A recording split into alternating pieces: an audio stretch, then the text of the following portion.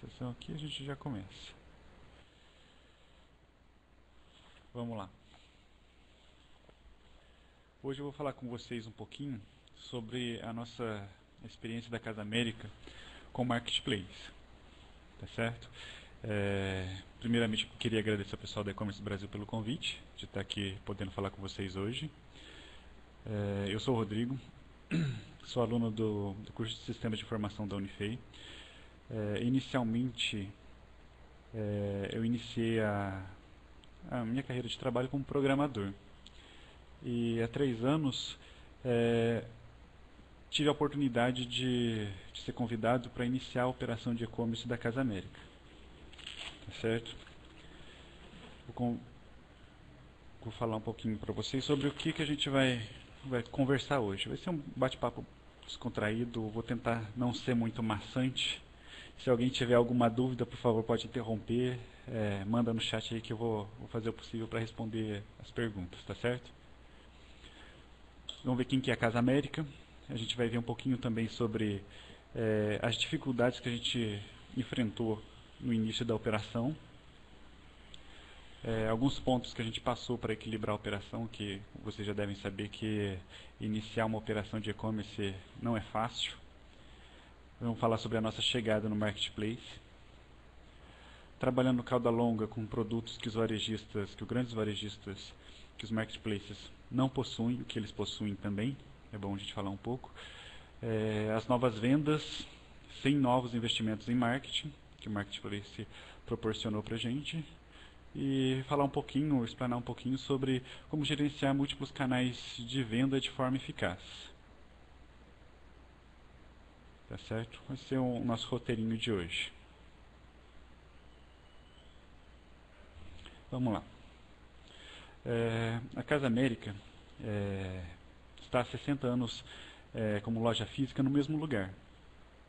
Ela começou como é, uma grande loja de armarinhos, ou seja, vendia de tudo quando, quando começou as operações. Vendia pão, vendia mel, vendia roupa, vendia tecido, era um, um, uma loja que se precisava de qualquer coisa, você ia lá na Casa América que você encontrava.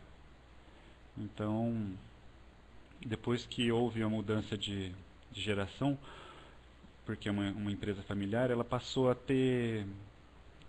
Tipo, a nova geração quis separar o que realmente a Casa América ia trabalhar e, e o que, que ele ia deixar de trabalhar.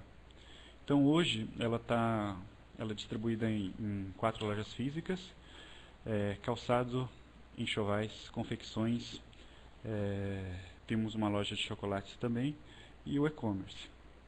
Então a gente separou, que antes estava tudo junto numa loja só, a gente fez algumas lojas separadas. E ela tá, todas as lojas estão localizadas na mesma cidade. É, a cidade aqui que a gente está é, é uma cidade satélite. Ela tem, se eu não me engano, 90 mil habitantes, mas ela é, é rodeada de, de pequenas cidades que que vem fazer, que vem praticar comércio, que vem fazer as compras, estudar numa cidade maior como a nossa, como a cidade de Itajubá. Então chega a dar um público em média de 200, 200 mil pessoas, vamos dizer assim, o público que a gente tem disponível aqui. É... A loja virtual, que é o nosso foco hoje, ela possui um centro de distribuição próprio, ou seja, é, no início da operação a gente tinha, tinha a ideia de manter um, um, o estoque compartilhado junto com a loja física, justamente para reduzir o custo. Mas logo de início a gente viu que isso ia dificultar um pouco a gente alavancar a loja virtual. Então a gente criou um centro de distribuição próprio é, para a loja virtual. Para não correr o risco de, por exemplo, um cliente estar tá fazendo uma compra de um item, a última unidade, e no momento até ele chegar ao caixa esse item sair. Então ela passou a ter um, um centro de distribuição próprio. A gente já está levantando o segundo centro de distribuição que já deve ficar pronto esse mês. A gente possui 96 funcionários, ou seja, é uma loja de interior, de, de um segmento, no caso online, segmento específico, mas é uma loja que é muito forte regionalmente e possui uma cartela de mais de 70 mil clientes, juntando todas as lojas. É, então é um histórico aí de 60 anos, com, com muito com volume bem, bem grande de clientes. e ela pratica algo, as lojas físicas praticam algo que é difícil a gente ver hoje, que é o crediário próprio. É, as lojas elas dão crédito para os clientes para eles poderem, sem precisar utilizar cartão, eles poderem fazer suas compras, realizar seus sonhos, montar seu enxoval, ter uma roupa legal, uma roupa de marca. Então é uma coisa muito bacana que, que a gente tem aqui no interior. Aliado a isso, a gente tem ainda marca própria, que é a Marquini de Minas, são marcas de enxoval, porque além de, de vendedor, a gente é importador também.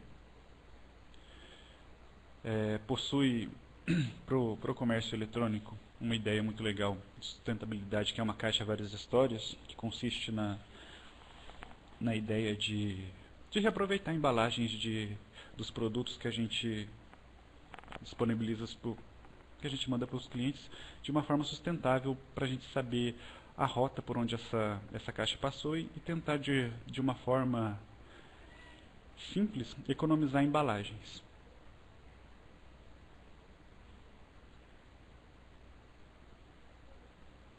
Dificuldades.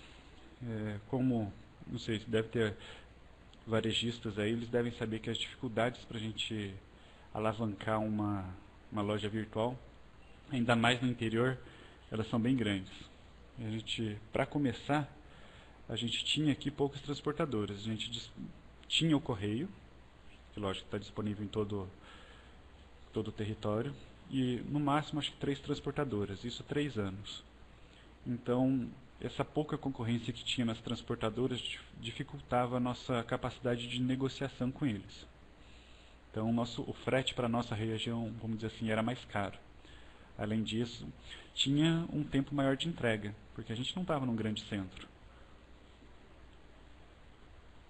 E a gente também tinha dificuldade de fazer entrega de produtos maiores. Então a dificuldade nossa era é, aumentar a nossa grama, gama de produtos, tipo trabalhar com móveis, é, com segmentos maiores, por causa disso, porque não tinha como a gente fazer esse, esse tipo de entrega. E até produtos de cama, mesa e banho mesmo, é, era bem difícil da gente poder dar vazão, a, dar vazão neles a um custo, é, vamos dizer assim, bom. E também pelo fato da gente ser pequeno, quando você inicia a operação, você não tem, vamos dizer assim, muito poder de, de persuasão nas, nas transportadoras. Quando tinha um problema, ele, era, ele demorava muito para resolver, porque uma loja pequena, com com volume pequeno, eles não vão dar tanta importância quando você é um, vamos dizer assim, um grande varejista. Quem nunca teve problema aqui, por exemplo, com o Correio de Benfica no Rio de Janeiro? Toda, toda encomenda que você mandava para lá, era certeza de 98% delas atrasarem. Não é verdade? não sei se vocês já tiveram essa experiência ou não, mas a gente teve que, que parar de trabalhar com correio é, para o estado do Rio de Janeiro por causa do, da, do, da quantidade de atraso que dava. Então a gente teve que se adaptar, né? Porque o cliente tem que, o cliente não tem culpa do da infraestrutura logística que a gente tem, que o Brasil tem em si também, né? Mas a gente teve que Bem, é, gostei da, da colocação do Alex. é, mas é, é, bem isso mesmo.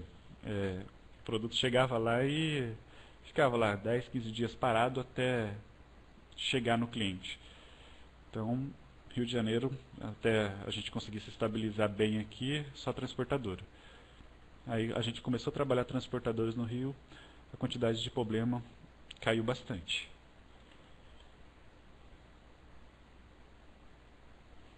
Vamos lá. Inicialmente a gente achou que é, vender online era muito simples era basicamente a gente ter uma plataforma, ter um RP e ter produtos. A plataforma, quando eu cheguei aqui, é, a Casa América já tinha uma loja Magento, é, que é aquela plataforma, é, entre aspas, free. Só que era uma pessoa só que operava toda, toda a loja. Uma pessoa fazia a venda, uma, uma pessoa fazia análise de fraude, uma pessoa ia lá, separava o produto, colocava no correio, passava o rastreio para a pessoa. Então, o nível de, pro, de problema era muito baixo. Consequentemente, quando você não faz nenhum investimento em marketing, é, você não vai ter um crescimento, vamos dizer assim, considerável. A primeira coisa que a gente fez, que eu fiz quando cheguei aqui, foi trocar a plataforma. A gente precisava de algo robusto e de, de fácil manutenção. Gosto muito do Magento, nada contra o Magento, mas é, eu precisava de algo que, de uma plataforma que ela se atualizasse sem me dar muito trabalho. Foi aí que a gente optou por, por pela plataforma de terceiros. A gente acabou optando pela Vtex. A gente aprendeu muito com o pessoal da Vtex, principalmente a necessidade de um RP. Antes, com o Magento, a gente operava é, Antes, com, com Magento, a gente não tinha RP, era tudo operado pela mocinha que trabalhava aqui. Então, dificultava um pouco a gente ganhar escala com, com esse tipo de operação. Hoje a gente está com, com o RP da Software, Retail. Mas antes era só o, o Magento, era tudo controlado por planilha. E tendo plataforma, tendo RP, a gente tinha e tendo produto a gente achou que a gente ia nadar em dinheiro, ou seja, ia colocar tudo no ar e ia começar a chover pedido. Certo? Ledo engano. Foi aí que a gente viu o tamanho do trabalho que era ter um e-commerce.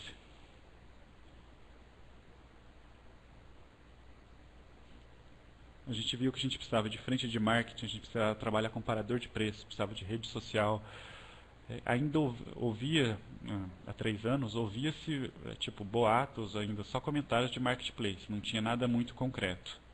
Tinha que ter blog, plataforma de afiliação, link patrocinado, é, retarget, ou seja, era uma gama de, de frentes que a gente não estava preparado estruturalmente para ter.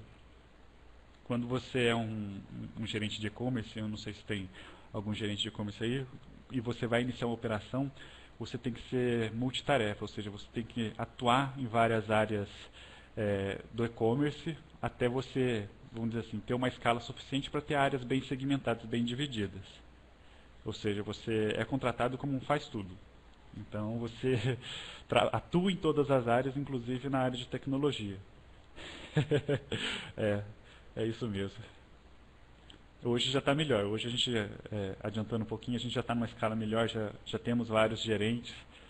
Então, quando você ganha escala, fica mais fácil você dividir o seu trabalho e, e se focar no, no, na venda de produto. Né?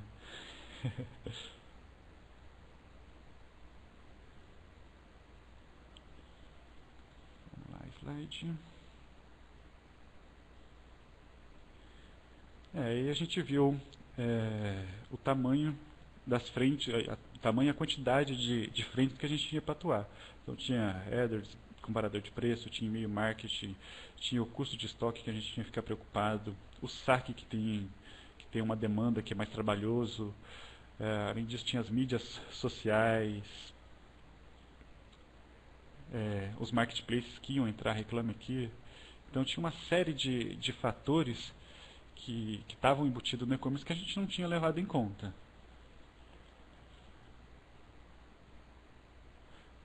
Alex, não entendi a sua pergunta. Quantos 100% a loja virtual responde pelo faturamento total do grupo? Isso que você está perguntando, né?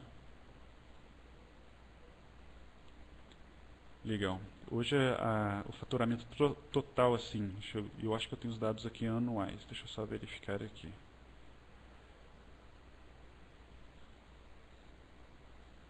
Do grupo está girando em torno de, de 20%, 30%. Eu não posso falar em valores, mas é, uma média que eu tenho aqui pelos números que eu tenho está tá girando em, em torno de 20%, 30%. Vamos lá. Então era, então era muita, tinha muita frente que a gente tinha que preocupar e que a gente não tinha levado em conta.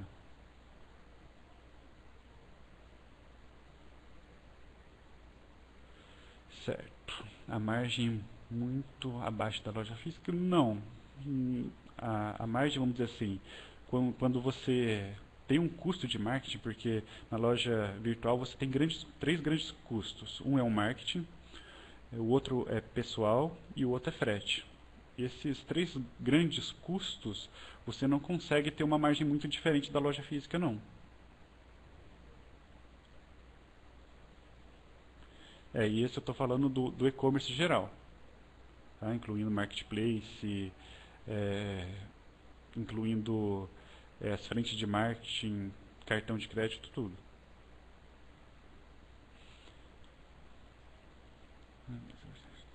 Ok? Qualquer coisa manda pergunta. Então, é, diante desse, dessa, dessa grande quantidade de frente que a gente tinha, a gente tinha que fazer algumas coisas rápido. Ou seja, a gente precisava aumentar as vendas, a gente precisava equilibrar a operação, porque quando você abre o e-commerce, a gente pode dizer que o primeiro ano ele é, a gente opera em negativo. Ou seja, então a gente tem que, no primeiro ano, a gente tem que conseguir um histórico de, de marketing, de, de frente de trabalho, porque é muito assim, no teste você testa ela para saber se ela te dá o retorno correto ou não. E você tem que conseguir esse histórico no primeiro ano para você parar de investir de dinheiro e alcançar o break-even, que, é o, que, é, que é o ponto que você para de, de injetar dinheiro e passa a ver dinheiro. Então, é, a gente era, tipo, você como gerente, com certeza o seu diretor te cobra diariamente para aumentar a venda, para para equilibrar a operação, isso de forma rápida. Quanto mais rápido isso ocorrer, é, melhor para a saúde e para o equilíbrio do, do, do e-commerce. Além disso, a gente precisa ter uma equipe motivada e treinada. Ou seja, a gente estava no interior, não tinha, não tem grandes e-commerces é, aqui perto, então você tinha que contratar as pessoas, treinar elas e fazer elas acreditar na ideia suas.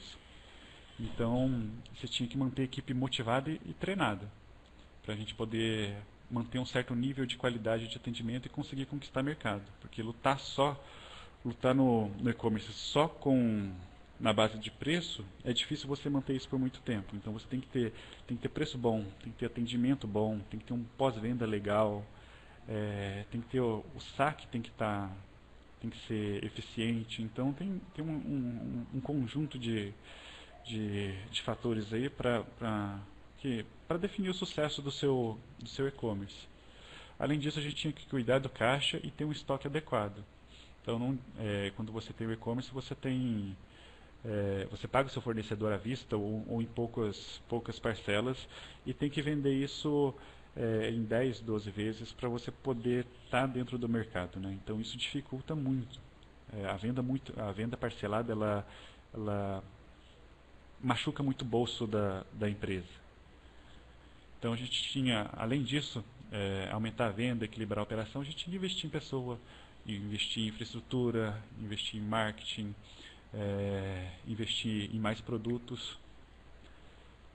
Sem, lógico, isso a gente tinha que fazer isso tudo além com todas as dificuldades batendo em cima. Então a localização versus o custo do frete e a gente tinha uma qualidade, vamos dizer assim, uma qualidade, um defeito, não sei. É, é um defeito. O segmento que a gente escolheu porque no e-commerce a gente é muito cama, mesa e banho, é, a gente tinha um segmento pouco visado. Ou seja, uma pessoa não deseja um, um jogo de cama ou um, um, jogo de toalhas da mesma forma que deseja um celular. Celular, aparelho eletrônico, eles são muito mais visados do que o segmento que a gente escolheu. Então, trazer fluxo para a loja para converter isso em venda é mais difícil. E a gente tinha outro grande problema, é que o ticket médio nosso era muito baixo. Ou seja, a gente é, alcançou uma, uma quantidade de vendas legal, interessante, mas com um ticket médio muito baixo. Ou seja, a gente tinha muito trabalho e na hora que você ia olhar o resultado, o resultado não era satisfatório. Então a gente teve que trabalhar isso também. Aí a gente passou, é, aumentou o segmento. Então, em vez de ser só cama, mesa e banho, a gente adicionou móveis, adicionou o D e adicionou decoração também. Isso também devido à demanda que a gente é, viu no, no marketplace. E o nosso segmento também tem outra característica, que é rotatividade baixa de produtos. Ou seja, é, existe muito produto que, que, sai de linha rápido. Então, se acaso você não fizer um esforço para ele sair, ou se acaso ele encalhar, vamos dizer assim, encalha e não sai, você tem que queimar ele de alguma forma, porque é, mudou a estação, deu seis meses, ele troca a linha, é outra linha, são outros modelos, são outras cores. Então é um segmento bem complicado de se trabalhar. A gente precisava também aumentar o fluxo para aumentar a venda, logicamente. Então a gente teve, tinha a opção de fazer, aumentar nossas campanhas de branding, ou seja, fazer o pessoal conhecer mais a marca. Como, como eu falei no começo, a gente está muito regional, a gente é muito do interior e muito conhecido, mas aqui na cidade, nas redondezas. A gente, em outros estados, não somos conhecidos. Então a gente poderia fazer uma campanha de branding para tentar alcançar mais essas pessoas. Só que a campanha de branding leva tempo. Ou seja, você tem que ter um gasto grande e demanda de tempo para você começar a ter um retorno.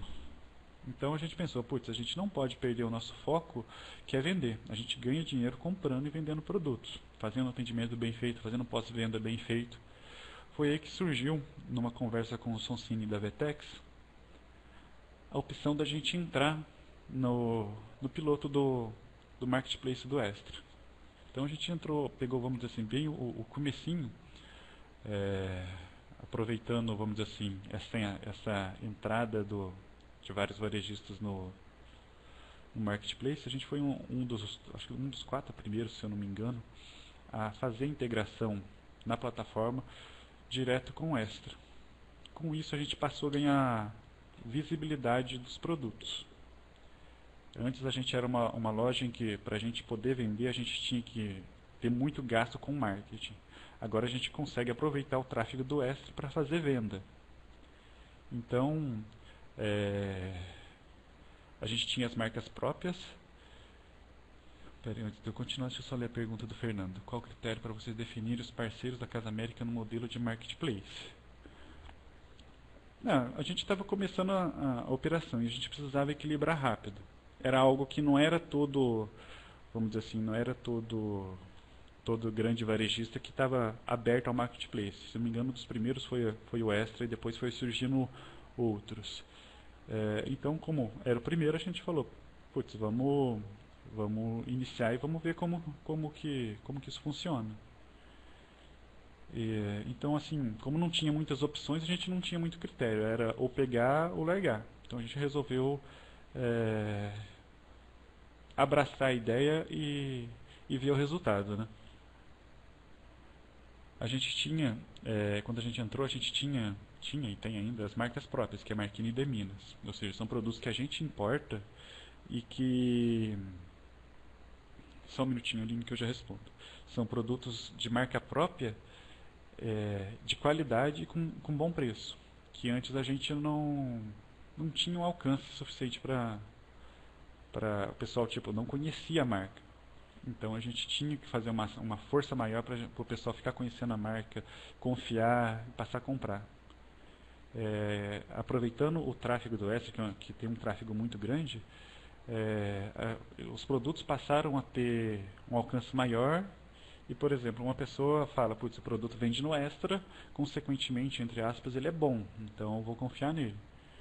É, teoricamente, é, é, essa, essa afirmação ela, ela perdura. Tanto que quando a gente entrou no, no, no Extra, que a gente começou a trabalhar o modelo do Marketplace, o alcance deles era tão, tão, tão grande que teve cliente na rua atrás do nosso centro de distribuição que comprou pelo, pelo Extra para a gente fazer a entrega. Então, foi muito, muito interessante que a mocinha que estava fazendo a expedição falou, vou lá entregar. Então, pouco tempo depois da pessoa ter, ter feito a compra, o pessoal pegou o produto, embalou e foi lá na casa da pessoa fazer a entrega. Então, é, é uma coisa muito interessante. Até a pessoa falou, putz, por isso que eu gosto de comprar no Extra.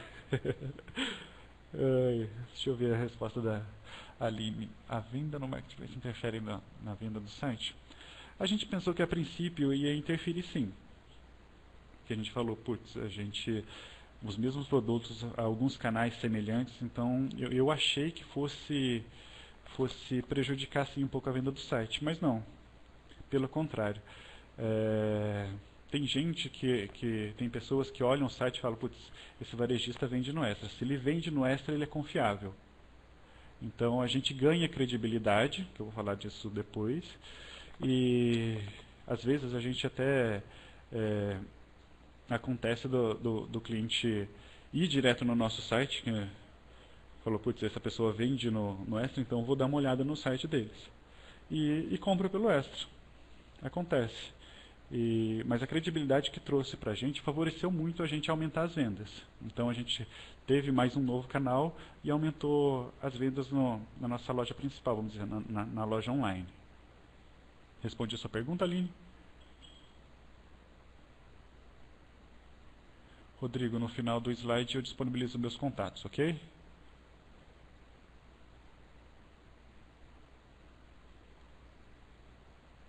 Deixa eu ver aqui, puxando um gancho, pergunta ali. No Marketplace gera muita recompra para vocês? Como assim, como assim, Marcos? Marco?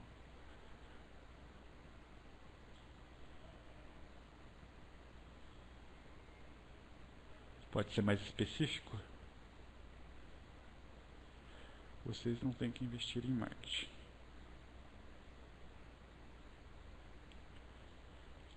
Certo, a não, é, no caso assim, é, tem, vou, vou, adiantar um pouco.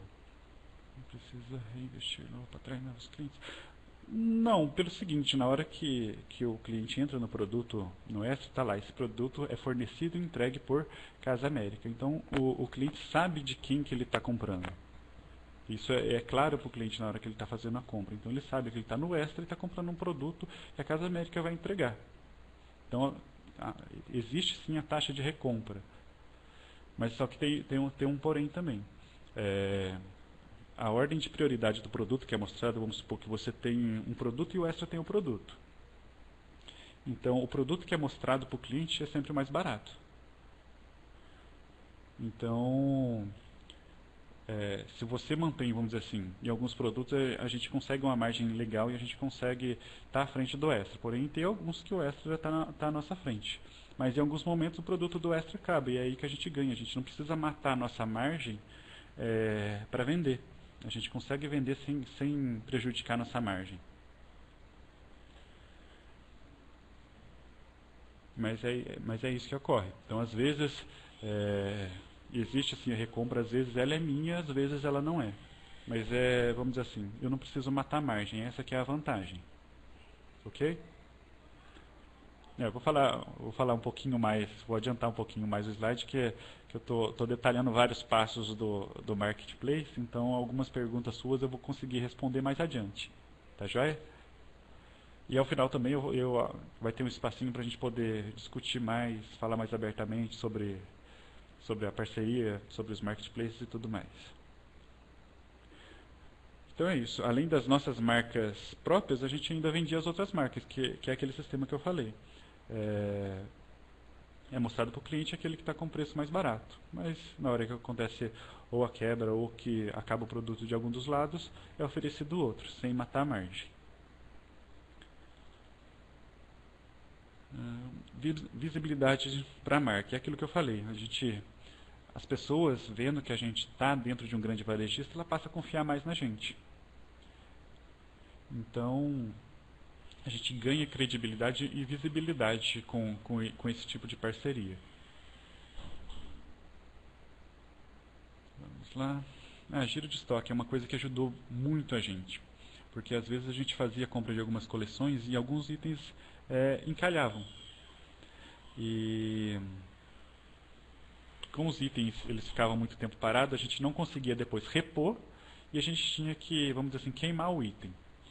Com a entrada no marketplace, é, o, o, o, giro de estoque ficou maior. Então, a chance da gente comprar um produto que tem uma saída baixa ou recomprar um produto que, que tenha saída baixa reduziu bastante, porque a gente consegue, num curto espaço de tempo, fazer uma análise melhor dos produtos que estão saindo com mais frequência, os que estão saindo com menos frequência, os que não compensa é, a gente trabalhar pelo risco de, da troca de coleção ou não. Então, é, o giro de estoque foi uma coisa que, que veio muito ajudar a gente. Além do giro, né, lógico, o volume, aumento, tendo um volume maior de pedidos, você consegue fazer negociações melhor com o fornecedor. Então isso foi muito bacana, né, esse, esse tipo de experiência que a gente teve com o Marketplace. No extra, carga de produtos, hum, no, no, no início a, a integração estava bem, bem, bem, vamos dizer assim, bem crua. A gente integrou direto com a VTEX, era só o frete e estoque.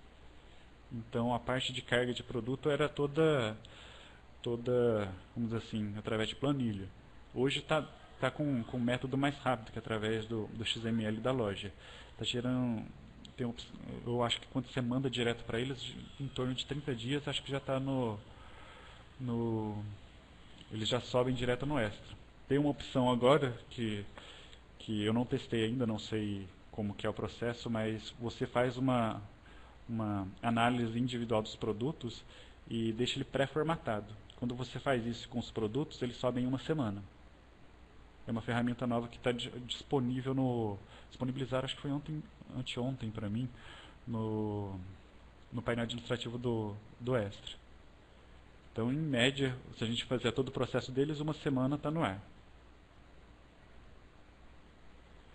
O Marketplace está girando em torno de 30%. Ou seja, a gente teve um, um incremento nas vendas de 30%. E não só nas vendas do Marketplace é aquilo que eu falei, a gente ganha confi confiança do cliente em estar num grande player assim. Então teve um, um incremento legal também nas vendas diretas do site. É, não é um cenário ideal, mas acontece, por exemplo, uma pessoa acessar o marketplace, é, olhar lá e falar, putz, esse pedido é entregue pela Casa América, vou lá e compro direto na Casa América. Não é o cenário ideal pro, pra, pro vamos dizer assim, pro, pro extra ou para outra, outra loja, mas acontece. Eu não vou negar, mas acontece, acontece isso sim. Não é com grande frequência também. Qual é a sua expectativa com relação a esse canal? Qual a meta de participação? a ideia é essa, é, não é tipo, eu quero que o Marketplace seja 100% da minha operação. Essa não é a ideia. A ideia é que é, a Casa América e o Marketplace cresçam juntos. Essa é a ideia. Nenhum atropelando o outro. É, a ideia é que um complemente o outro porque é, você trabalhar só com marketplace, é, vamos dizer assim, crescer, fazer esse 30% virar 70% não é tão interessante, mas também não é interessante, é, vamos dizer assim, ele ficar pequenininho na nossa loja. A, a ideia é a gente buscar o equilíbrio entre os dois, para tipo, ser saudável para os dois lados, tá certo? Então é o que eu te falei, não tem como eu estipular uma meta. É, ele a gente mantém ele à medida, vamos dizer assim, num nível saudável tanto para mim quanto para ele. Eu acho que ele deve manter isso também. Ele não deve pensar, não deve pensar de uma forma tão diferente assim, Eduardo.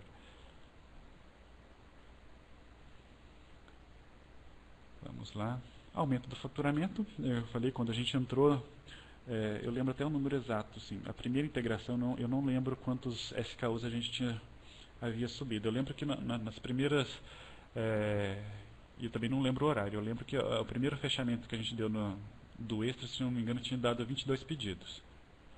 Então, foi muito legal. Foi a primeira foi a primeira primeira vez que a gente subiu os produtos. Eu até estava olhando ontem o histórico, foi, foi bem legal olhar assim, o primeiro dia dele, 22 pedidos é, agregando ao que a gente já tinha da loja. Foi muito interessante. De lá para cá, é, esse número veio só, só crescendo.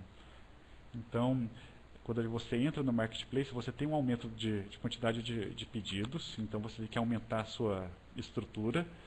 E se você não fizer isso, 30 dias, 40 é, dias depois, você vai, vamos dizer assim, sua estrutura vai começar a virar um colapso, porque você está preparado para um, certa quantidade de, uma certa quantidade de pedidos. E vamos dizer assim, você tem um, um incremento, vamos dizer assim, de 30%, uns 30 dias depois você já começa a entrar em colapso se você não agir rápido. Então, é, você tem um, um, aumento de quantidade de pedido, um aumento de faturamento, e você tem que crescer junto com ele. E o Marketplace ele propicia isso, que eu vou falar mais à frente. Deixa eu ver se acho que no próximo slide. É, não, acho que no outro ainda. Então, é, quando a gente entra no Marketplace, ele ajudou bastante a gente a, a, a alcançar o break-even. Ou seja, aquele momento mágico em que você para de, de colocar dinheiro e começa a ver dinheiro. Né? Não dá para ficar é, gastando dinheiro, gastando, gastando sem, sem ver retorno, nem sem ver perspectiva. Né? Então é importante isso, alcançar o break-even para você poder focar mesmo em vender produto. É, o marketing do marketplace. Uma coisa muito legal, é, quando a gente iniciou as operações que eram menos lojistas, ficava bem evidente isso. É, em si, o marketplace ele já faz um marketing dos produtos de vocês. Então, a gente tem o marketing do dia a dia, que às vezes sua gerente de conta do seu segmento, ela te manda um e-mail falando, olha, é, Rodrigo, hoje é, a gente vai lançar um e-mail marketing e vamos colocar os produtos de vocês. Ou então, hoje seus produtos estão, todos na home. Então, o marketing do dia a dia deles é legal. Eles têm um investimento, eles fazem um investimento nos produtos do lojista porque é interessante para eles vender, né? É, o ofício, é, a, tipo, eles têm que, que aumentar as nossas vendas e para isso você precisa se mover de alguma forma. Então a gente aparece em meio marketing, aparece alguns produtos na home, tem a, a home da categoria também, é, tem um investimento da parte deles nisso aí. Uma coisa, eu coloquei o logo do Buscapé aqui, que a gente fazia, a gente fazia inicialmente muito investimento em, em comparador de preço.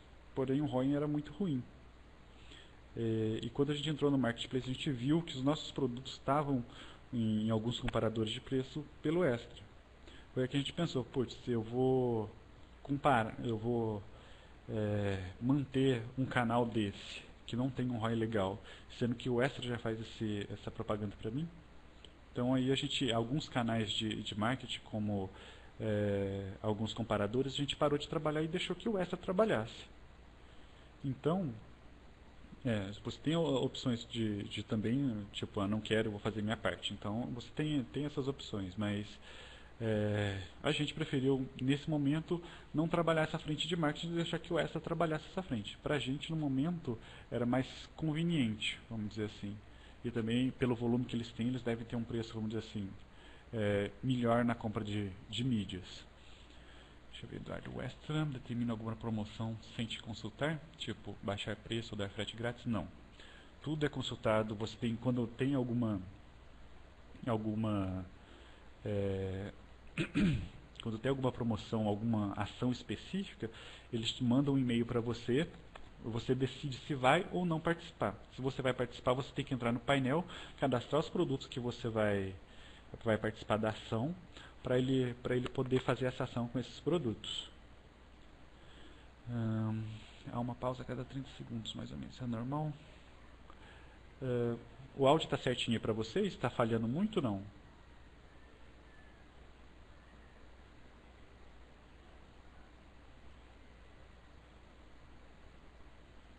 Bruno, pode ser algum problema na sua conexão, ok? Vamos voltar aqui. Seus SKUs têm o mesmo preço na Casa América e no Extra é isso. É uma cláusula contratual. Os produtos que estão no meu site têm que estar no Extra com o mesmo preço. Tá? A gente, é, contratualmente, a gente mantém, convencionou isso. Então, se, se, tanto no meu site, a pessoa procura no meu site produto, ou procura no site do Extra, o preço vai ser o mesmo. Vocês já tentaram outros marketplaces além do Extra? É, vou chegar a isso lá no, lá no finalzinho.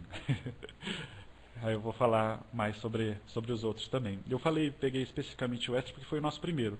Foi quem confiou na gente, quem deu abertura para a gente é, iniciar, vamos dizer assim, essa frente no, no mercado. Ah, citei aqui também Black Friday. Eles fizeram uma ação muito legal no Black Friday, Black Friday que foi tipo, a gente não vai cobrar comissão de todos os produtos é, do Black Friday e em troca vocês dão frete grátis. Eu falei, legal, para mim a condição era bacana. É, a gente ia receber, tinha, lógico, a gente separou uma quantidade de produtos específica, que a margem é, permitia fazer isso, e a gente trabalhou dessa forma. Eles não cobravam comissão e a gente dava frete grátis. Foi muito legal, é, foi nossa primeira experiência com Black Friday, foi, vamos dizer assim, fantástico. A gente não estava esperando o movimento e a quantidade de pedidos que, que, que foi resultante desse da sexta, do sábado e do domingo, né? Porque eles tendem um pouquinho esse não é, não é só na sexta, né? Começa algumas horas antes e, e vai até o domingo. Então foi uma experiência muito bacana. Então é, tudo é consultado antes, tudo você tem que, que fazer o cadastro prévio. Tem cláusulas que você deve deve seguir, né? Porque não tem aquele, você não pode fazer aquele negócio de camuflar preço porque não é legal. Então você tem que ter, vamos dizer assim, trabalhar certinho, trabalhar eticamente para a gente poder construir um ambiente de, de compra bem interessante para o cliente. Tá certo?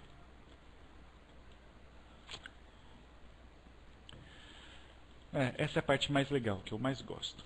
Antecipação das vendas independente das parcelas. Então, o cliente compra no site do Extra em, em 12, 10 vezes e, e, o lojista recebe 30 dias depois. É, eu, se eu não me engano, ainda é, atualmente está 30 dias, mas quando a gente começou, era por quinzena. Então, de 15 em 15 dias, você fazia uma antecipação das vendas. Então isso mantinha o nosso fluxo de caixa bem saudável.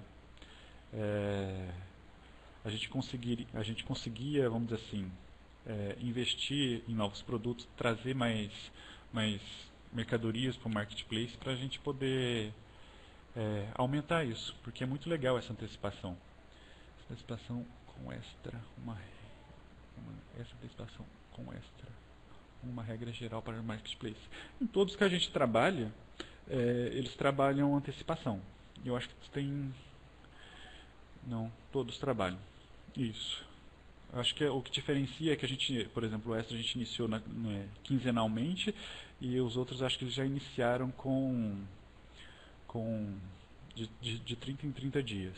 Então, para a gente foi muito legal e o fato de a gente iniciar com, com quinzenalmente foi, foi muito bacana, que ajudou a gente a manter o fluxo, o, o caixa, vamos dizer assim, saudável. Mas isso também acho que varia um pouco de essa antecipação, não sei se varia de segmento ou não, mas é, gira em média de 30 dias. Isso, em contato com eles, eles conseguem informar o que está sendo praticado hoje. Tá certo? Vamos lá. Marketplace com opção. Ah, é aquilo que, que eu falei, ó, frete grátis é opcional. E a gente também tem os, o, o saque de segundo nível. Você pode dar frete grátis? Pode. Só você cadastrar essa promoção no seu painel administrativo e que, que seus produtos vão ter frete grátis. E uma vantagem legal também é que o saque que você recebe é o saque de, de segundo nível. Ou seja, o, o extra ele faz o primeiro atendimento e caso eles consigam resolver, seja alguma coisa relacionada a pagamento, é, alguma coisa do lado deles, eles resolvem e não chega a você. Agora, caso chegue, seja uma troca, um cancelamento de compra, um, um, produto avariado, chega a você através do sistema deles, gerado um ticket, e eles vão te acompanhando até ser resolvido, ser solucionado esse problema. Então, é, o volume de, de e o ticket é baseado no, no, segundo atendimento, não é tão tipo, ah, tem uma reclamação, já, já cai direto para você, não. Eles avaliam para depois chegar em você. Essa loja está entrando no extra, hilário. Estamos com ótimo. Legal, vocês vão gostar, tenho certeza. Seu segmento, Eduardo, seu segmento é qual? Qual que é? Hilário.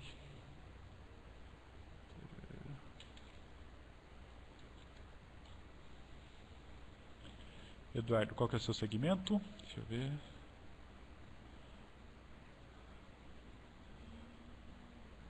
É produtos para, para o lar, não é, Eduardo? Isso, móveis de decoração. Legal, acho que você vai gostar sim. O fluxo, que ele vai trazer para vocês vai valer muito a pena. Vamos lá. Gerenciando vários canais. É, esse aqui seria o cenário, cenário, perfeito. Todos os pedidos de todos os marketplaces concentrados num lugar só. Tanto da loja quanto dos marketplaces. Hoje a gente não está só no Extra. A gente está em mais cinco marketplaces, que são os cinco maiores que tem hoje no mercado. É, o ideal seria que todos os pedidos, é, todo o processo fosse feito através de um, de um concentrador de pedidos. É o que a gente não tinha. Tem Extra, Walmart tem Submarino, tem tem. E tem mais um que eu ainda não posso divulgar. mas são todos esses. São, são, dizer assim, são os maiores que, que, que tem no mercado hoje. E hoje a gente faz o seguinte fluxo. A gente mantém todo, todos os marketplaces conectados na loja principal. Ou seja, todos os pedidos é, do, seja do extra, do, do submarino, do, do Walmart, eles caem na loja principal para mim. Então, eu, é, tipo, eu quero consultar qualquer pedido, seja ele de qual canal for, primeiro eu vou na loja principal. Caso seja algo mais específico, eu posso ir no, no painel administrativo do, do Marketplace. Então, a plataforma que a gente tem hoje de e-commerce, ela é bem, vamos dizer assim, bem integrada nesse sentido. Então, a gente consegue comunicar todos os marketplaces com, com, com ela com facilidade. Falta, é, para a integração ficar 100%, é, falta só, vamos dizer assim, é, eu fazer toda a interação com a loja e a loja comunicar com o marketplace. Tipo, eu não precisar acessar o painel administrativo para para fazer nenhuma movimentação. Isso seria o cenário perfeito. Então, tanto a solicitação de pedido quanto de saque, se estivesse num lugar só para mim seria ideal. Mas é o cenário que, que a gente tem hoje. Eu creio que mais uns 4, 5 meses a gente passe já a ter soluções mais integradas. Então, eu creio que vai facilitar muito mais a nossa vida. Skype, legal. E vocês segmentam o estoque por marketplace ou um estoque integrado? Estoque integrado. Então, o RP ele integra o estoque com a loja principal e a loja principal distribui para os marketplaces. Então, caso acabe algum produto, ele ele para de ele zera o estoque em todos os marketplaces. Essa que é a vantagem que a gente tem de estar com, com a plataforma online bem integrada. Então, eu não vou falar que não existe, porque sempre existe um delayzinho quando você trata tecnologias em sites diferentes. Existe sim uma chance de, de acontecer de vender um produto é, e, e, tipo e no mesmo, vamos dizer assim, no mesmo instante você vem, ter sido vendido em outro canal e você não ter para atender o outro. É raro, mas acontece você disponibiliza marketplace alguns produtos. Você vende só é, tipo isso se eu disponibilizo todos pergunta do Fernando se eu disponibilizo todos os meus produtos é, em todos os canais ou só ou tem algum que é só na loja? Tem alguns produtos que a gente não disponibiliza é, nos marketplaces. Você escolhe o, o sortimento que você vai deixar lá. Então respondi? Então beleza É, a gente tem essa opção também. Mas fica a critério do lojista. Então o lojista escolhe se ele quer todo o sortimento ou não. Então, concluindo, é, para o mercado de nicho, a gente ganha é, uma potencialidade muito legal com o marketplace. É, eles passam a ter um mix mais completo de produto consequentemente, a gente passa a ter mais venda e consegue, vamos dizer assim, é, sustentar melhor o negócio. Os produtos nossos de nicho têm uma margem bruta melhor. Lógico, a gente tem uma, tem uma margem melhor, às vezes a gente perde no preço, mas é aquilo que eu tinha explicado é, durante a apresentação. Ocorre às vezes de você, de um produto que não é, vamos dizer assim, o que o pessoal fala, boi de piranha, e ter uma saída normal, mas ocorre aquele produto que você tem uma margem maior que às vezes não aparece em primeiro lugar, mas em algum momento acontece a quebra e você tem a saída dele. Então, as margens, é, quando você entra no marketplace, você consegue aproveitar elas melhor. O marketplace é um ótimo canal de vendas, sem dúvida. A gente está aqui para justamente para falar isso para vocês. E a gente conseguiu também é aquilo que eu falei de reduzir alguns custos com, com marketing utilizando o marketplace, que é aquela história dos comparadores de preço. Eu não vou competir com, com comigo mesmo, sendo que, que, que o Extra já divulga os meus produtos nos comparadores de preço. Então eu prefiro, como eu não tenho, eu, eu é, não tenho como é, melhorar esse resultado, vamos dizer assim, eu prefiro que, que ele, nas condições que ele tem, que com certeza são melhores que que, os, que a gente é, vamos dizer assim, um pequeno varejista, a gente consegue deixar que ele faça, faça esse marketing e então a gente economiza nesse canal sem sair dele.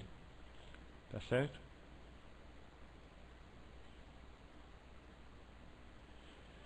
Eu vou abrir esses espaços para pergunta, vocês podem digitando, eu vou fazendo o possível para tentar responder todas. eles cobram uma porcentagem em cima do valor do produto vendido ou é um valor X ao mês? Não, é uma porcentagem. Isso eu não consigo falar o valor da porcentagem porque varia de segmento. São vários segmentos. Eles, eles têm um, um, uma quantidade de segmentos bem, bem grande. Então, é, é aquilo, é começar a negociar, é, ver seu segmento, ver a porcentagem e ver se realmente é, colocar na ponta do lápis, né, colocar taxa de cartão, marketing de, outro, de outras de outras de outras frentes para ver se, se realmente no seu segmento você se vale a pena você estar tá presente no, no marketplace. Os valores cobrados entre marketplaces são muito diferentes? Não. É muito parecido. Existem sim é, os mais recentes que estão lançando agora, eles começam com, com percentual é, menor, tem uns que começam com percentual maior, mas a proposta em si é diferente. É, a ideia é a mesma, vamos dizer assim. Mas, por exemplo, é, tem marketplace que tem propostas muito específicas. Tem um, tem, tem um por exemplo, é, qual que é o que... Ah, tem, por exemplo, Rakuten, que é, um, que é uma proposta de marketplace diferente. Então ele tem um percentual diferente dos outros marketplaces. Tá? Aí você tem que ver aquele que mais se adapta ou se quiser estar em todos, se achar que seu segmento é conveniente estar em todos, é, bola para frente, é, é, negociar e ver sempre as melhores condições. Falando do e-commerce, qual a taxa de conversão de vocês? A gente está na, na média entre, entre 1.2 e 1.5. Cada categoria tem uma taxa de conversão diferente assim. A gente tem a geral, que, que, que é nisso, mas tem categorias que realmente convertem mais que as outras. O marketplace interfere em uma estratégia, uma estratégia de omnichannel. Não, marketplace interfere. Não. Varia, mu varia muito da, da loja do segmento seu, né? Não dá para você é, generalizar muito. A gente está no segmento cama, e banho. É, entrando no marketplace agora, a gente está adicionando novos segmentos, mas é, justamente visando o crescimento tanto no marketplace quanto na loja, mas eu creio que não interfere não. Auxiliam na hora de selecionar os produtos que serão disponibilizados, sim. É, quando é, o volume e o tráfego que, eles, que, que é trazido, a gente leva em conta na hora de, de fazer as compras. É, eu lembro que quando a gente entrou no marketplace, a nossa área de compra quase ficou louca, porque ela estava acostumada a fazer uma compra de determinado volume, de repente houve um aumento, a gente achou que ia faltar tudo, mas a gente teve que fazer um ajuste na área de compras, justamente para o pessoal poder nos atender com uma velocidade é, hábil. Mas eles influenciam sim, porque o que vende no marketplace é é o que o pessoal está procurando. E eles têm um, um, um, tráfego e um volume de, de acessos muito grande. Então você consegue se nortear por eles de acordo com o percentual que, que representa eles para você. Vocês. Peraí que está subindo as perguntas aqui, estou me perdendo. o canal gera maior retorno. E-mail marketing, link patrocinado, marketplace. Então, desses três canais depende muito da forma que você trabalha. No nosso segmento, por exemplo, e-mail marketing é muito bom, desde que a base é, seja bem qualificada. Então, nada se compara a você ter uma base de pessoas que realmente compram cama, mesa e banho. Então, o ROI realmente vai lá em cima. É, link patrocinado é a mesma coisa. Se você está com as palavras-chave certas, se você está com as palavras que tem um. Tipo, sua página é relevante para é, o cliente, então. É, e, e, você já tem um histórico disso, então pode ser que ele tenha um ROI bom. Eu acho que o e-mail marketing tem um, tem um ROI é, bem mais elevado, justamente se você trabalha ele direito. Então, é, a gente pode dizer assim que em termos de ROI, eu creio que o e-mail marketing tem, tem, tem um melhor retorno. Mas isso é, é aquilo que eu te falei, é tudo a forma de você trabalhar. Tá certo? O marketplace oferece as opções de oferta produto com valor maior do site. Peraí, não entendi. Marketplace oferece a opção de oferta ao produto com o valor maior do site. Felipe, tem como refazer essa pergunta que não ficou muito claro para mim. Pessoal, à medida que vocês forem saindo, tem um formulário depois do, do de encerrar a sessão aí. É, vocês, por favor, se puderem me dar um feedback, o que foi ruim, o que podia melhorar, eu agradeço, ficaria muito feliz se vocês puderem fazer isso. Oferta produto com valor 10% mais caro que o site. Não dá pra gente fazer. É, não dá pra gente fazer isso pelo seguinte, a gente tem um contrato que o mesmo preço que é exibido no nosso site tem que ser exibido no extra. Então, é, não tem como, vamos dizer assim, a gente fazer isso. Se fosse fazer isso, a gente estaria quebrando, vamos dizer assim, uma regra contratual nossa. Você teve que aumentar a equipe por conta do aumento de volume de vendas, se o nível de serviço foi tranquilo, manter a qualidade no atendimento.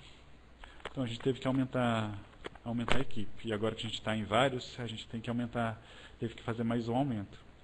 É, realmente ele, ele demanda mais volume. Porque ele, lógico, ele vende mais, o mesmo percentual, vamos dizer assim, de reclamação que você tem no seu site, é, acontece de você ter, ter no marketplace, desde que você mantenha isso em um nível controlado. Então, sim, dá para manter a qualidade. É, às vezes acontece uma, alguma falha de integração, alguma coisa, porque é algo recente. Realmente acontece. Não dá para ser perfeito o tempo todo. Mas é aquilo. Aconteceu, aconteceu. Realmente acontece. É, corrigir, notificar é, o pessoal responsável pela integração, é, o pessoal envolvido e bola para frente. Você tem que resolver o, o, problema do cliente e notificar as pessoas envolvidas para que, que isso não ocorra novamente, para sempre tentar manter essa qualidade. Você não pode ficar num, num nível mais um nível baixo de atendimento porque você tem meta para cumprir. É, no caso do Extra, por exemplo, você tem um, uns parâmetros que ele disponibiliza no site, que é suas metas de atendimento, quanto que falta para você alcançar essas métricas, e contratualmente você não pode ficar abaixo das metas. Tá certo? Então você tem, você tem obrigatoriamente que manter o mesmo nível de qualidade. Ou superior até.